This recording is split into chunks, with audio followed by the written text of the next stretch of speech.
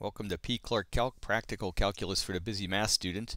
And here we're going to look at an interesting application of area between curves from business calculus uh, known as the Gini index.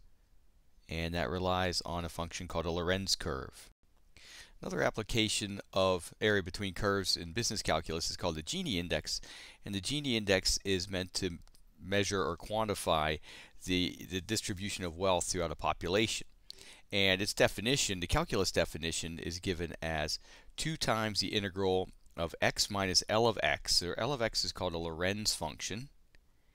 And it is a function that models proportion of the population to proportion of income owned. And because of that, the L of x function always has to have two points on it, 0, 0, because no, no people own zero of the income, and 1 1 because all of the people own all of the, the income in the country. So the the area between the two, by definition, would be upper minus lower, which is y equals x minus L of x. It turns out that L of x is always it's always uh, below y equals x. It has to be if you think about it. Because if we look at a point here at say 0.5, the bottom half of a population is going to own much less than half of the wealth in that country. So, so we know it's going to be x minus L of x there. And then the, the economists like to double that, and they have their reason for it to make the index, and we'll explain why as we go. But ultimately, it's an area between curves. So if we know what the, the L of x function is, then we can just go ahead and do it. So let's do the math of that first, and then we'll talk a little bit about what's that all mean. So, so here we have the Gini index of y equals x cubed, which ends up being it's about it's approximately the Lorenz function for the United States in the, around say 1930 and so we have that on our graph here. That's our lower curve and then we have y equals x. So our, our Gini value here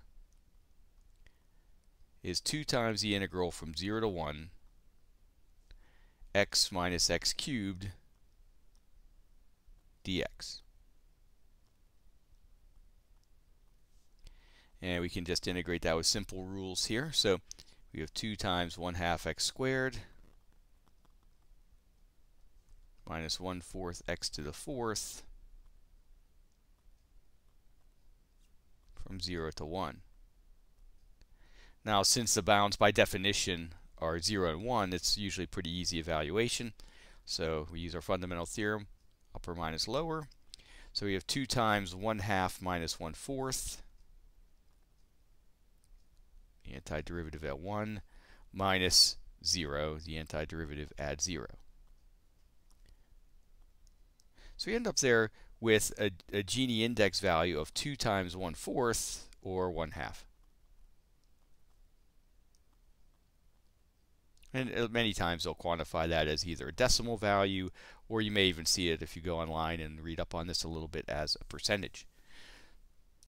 So what we've done then in the calculus sense is we've taken this region here between x and the Lorenz curve and we've we found that area and then essentially doubled it to obtain what's called the Gini index.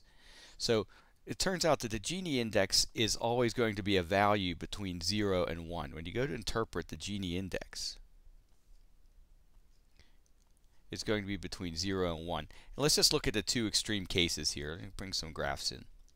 Okay, so the most extreme case on the one end is when everyone receives exactly the same amount of the wealth in a nation, which this would be this would actually be perfect communism, which really doesn't happen anywhere if you think about it. But uh, in that case, in absolute communism, the Lorenz function would be y equals x. And that means that the area between the area between x and the Lorenz function ends up being zero. We don't have to run an antiderivative to see that. And so the Gini index on this particular case is zero. So the closer to zero the Gini index is, the, the closer to, to a communist arrangement you would have. So what you see is like the more socialist nations in Europe say will have a lower Gini value typically than say the United States of America. Um, and if you go into a, a very communist nation, they'll have a very low Gini index. The other end of the spectrum is what I call despotism. Uh, it could be an absolute monarchy or a dictator or something on that order, where nobody owns anything except for maybe one or a very small group of people, so a monarchy or an oligarchy. And in that case, your Lorenz function is going to be almost a right angle. I have x to the 1 millionth here, I've graphed it, and so there the graph goes very, very quickly from y equals 0 to y equals 1. And essentially, we can look at it as a right triangle with an area of 1 half. So here, on this side of it,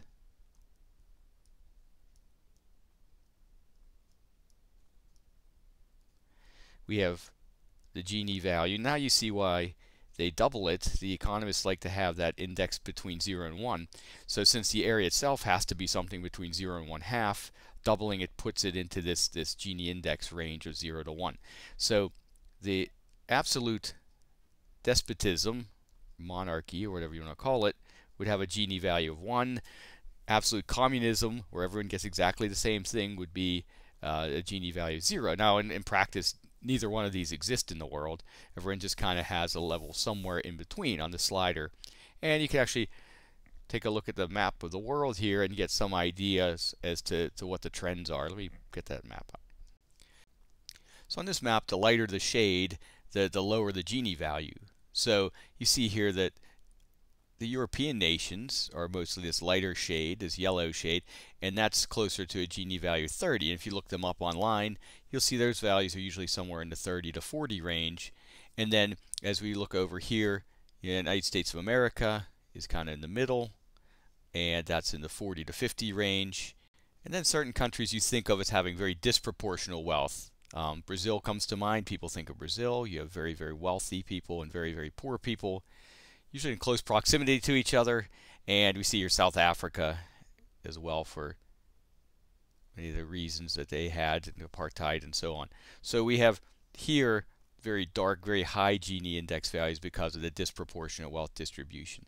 So there's different reasons for why those numbers are what they are, and that's, you know, the social sciences can talk about that. But it's an interesting economic value. It's a quantification of this, and you can look it up online if you want to learn more.